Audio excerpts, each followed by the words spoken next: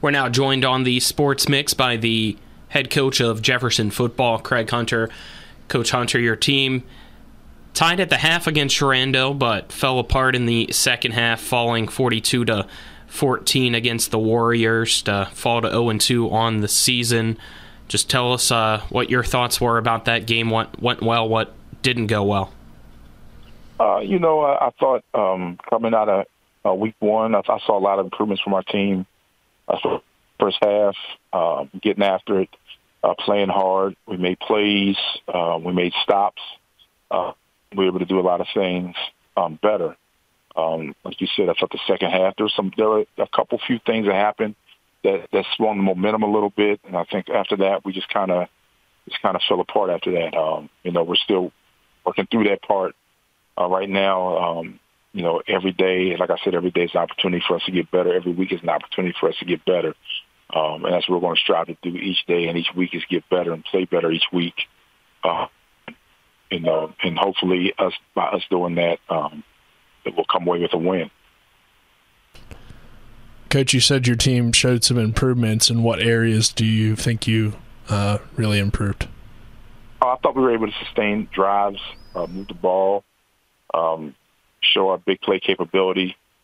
Um, I thought we were able to get stops. We we tackled better in the first half, um, so I thought we did uh, those things uh, better than the first game. So you know, we just got to keep pressing forward, keep moving on, and um, things will continually get better for the team as long as we keep working in this trend. Maybe not as fast as people would like for it to happen, but it's happening. What were some, I guess, other things that really stood out to you in that game against Sherando? Uh, as far as us, um, you know, like I said, I thought we you were able to get the ball in the hands of our, our big playmakers. So you saw you saw Tony Allen catch a ball at a distance. We were able to get the running game going. You saw Tayshawn uh, Roper have a I think it was like a 20 or 30 yard run for a touchdown. Um, the blocking was better. So, you know, tackling was better. We were able to get stops, make them punt, uh, get interceptions. So we were able to turn them over. So, you know, there's things that we saw that, that we were able to, you know, to push forward on and hang our hat on to, to go with the positives to go into this week against Spring Valley. Coach, obviously your team's had a solid start in terms of the schedule being a pretty tough schedule. Um, I guess just to rephrase, uh, your team starts 0 2 for the first time since 2020, but it's been a tough schedule. So, how do you, I guess, keep the team in a positive mindset set uh, since you haven't really been used to this kind of start in a while? Uh, you know, just keep everything in perspective. You know, we know it's a tough schedule. We know the first four games on our schedule um, are extremely hard, or extremely tough games. Um, we that you know, and I always like this. I mean, it's a saying I always say: nothing's as good as it seems, nothing's as bad as it seems. Somewhere in the middle, reality falls. So you know, nothing right now is as bad as it seems right now. We just got to keep getting better each day, and um, you know, we'll we'll start to see victories come about. Um, it's just a matter of, of us getting better. We're still, I mean, we're still got some got some veterans sprinkled in there, but we're still a pretty a pretty young team. We got a lot of kids on this team that haven't haven't had much varsity playing time. So you know, um, they're still trying to figure some things out. You know, we're figuring out uh, we'll put them in the best situations uh, to make them all successful, and how to get the ball in the hands of guys um, who can do great things for us. So I mean, everybody hasn't everybody hasn't had a lot of a lot of varsity playing time. So you know, we're starting.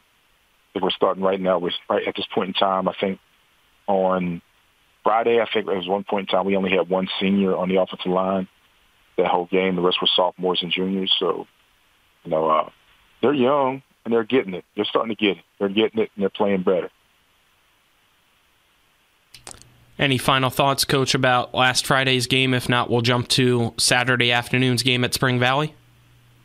Nah, it's last, I mean, it's last week. We got to move forward. We got Spring Valley now, so I can't get that. We can't get that game back. So we just take what we can get the positives, fix the negatives, and move forward on the Spring Valley. All right, let's talk about that game then. What are your early thoughts about your opponent? Um, I'm a strong team. I mean, they've always been they've they've had a good, uh, successful program over the years. Um, you know, we've been fortunate enough to be able to, to be able to win some of those games, but they've always been formidable opponent. I mean, they're tough. They're going to be physical. You know, they they seem like they've uh, got more added speed this year. The Abercrombie kid is phenomenal. Uh, we want to make sure we know where he is on the field. So I mean, they're just they're just a good all around ball team. So you know, we're going to have our hands full going down there, making the travel down there uh, to get a win on on their home turf. Coach, uh, this is a trip now that you've kind of gotten used to in terms of heading into the Huntington area for uh, playoff games. This one, a, a, regular season matchup between your two teams. What do you like about the trip? What are some things that you can uh, build just in terms of team chemistry? And then uh, what are some of the challenges of going on a long trip like this? Oh, there is nothing I like about this trip. there is nothing. It's a it's a six hour trip on a bus.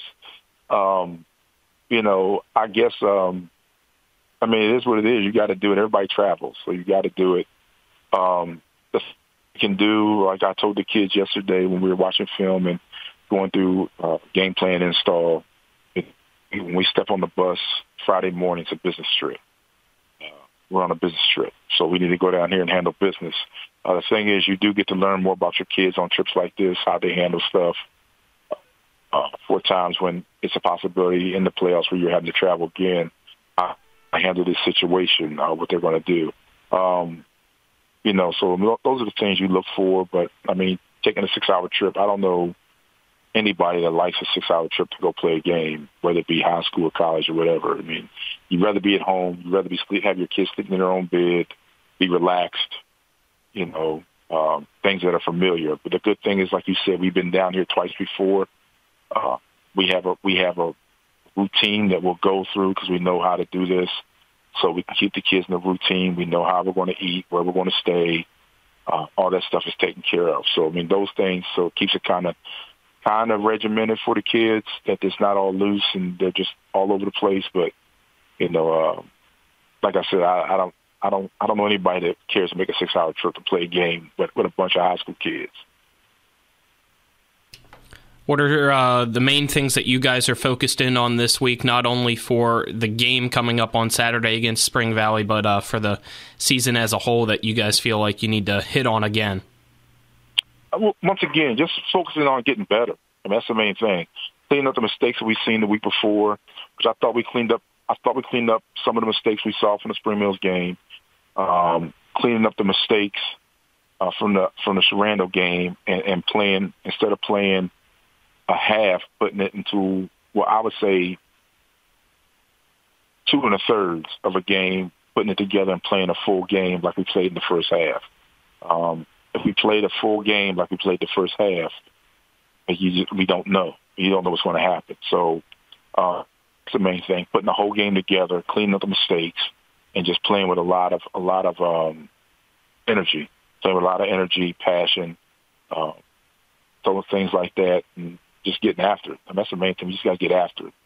Um, so I, I think the the young men are starting to understand it a little bit better. They're, they're clicking a little bit better. They're getting they're getting to know each other a lot better um, and understand uh, their assignments a lot better for the young guys. Um, so I see a lot of growth from the first scrimmage until until now. So I'm I'm confident, I'm confident in, in what this team's going to be able to do as the season goes on. And coach, when you look at their first two games for Spring Valley, a 55-20 win and a 63-48 loss, so clearly a lot of offense in their games. Uh, what do you think, or what stands out to you about their offense that you've seen? Uh, a little bit of balance. I mean, they're going to run the ball. Uh, they will run the ball and throw the ball in balance. Um, like I said, you know, we got to make sure we know where the um, where the Abercrombie is on the field at all times. That's their that's he's their home run guy. So they're going to the ball in his hands. They're going to try to get him at least 15 touches a game. Uh, so we just got to make sure we know where he is, uh, limit his big play capability, and uh, you know, just pretty much and definitely try to uh, shut down the running game. All right, Coach. Any other thoughts? If not, I guess we'll get to the uh, fun question. No, I'm good. Let's get to the fun question. I want to see what it is this week. All right, this week uh, it is. If you were to win the lottery, what would be the uh, first thing you'd use the money for, buy, and why? I mean, I pay my bills off. That's what I would do. I pay my bills off. That's the first thing, so I can be debt free. That'd be the first thing I would do. Um, that's it. That's that's that's number one. I like the well thought answer, Coach. The adult answer. that's, that's the first thing came to my mind. That's not even that's not a question. All right, Coach Hunter. Thank you. All right. Thank y'all. Appreciate y'all. Good luck this week. Good luck.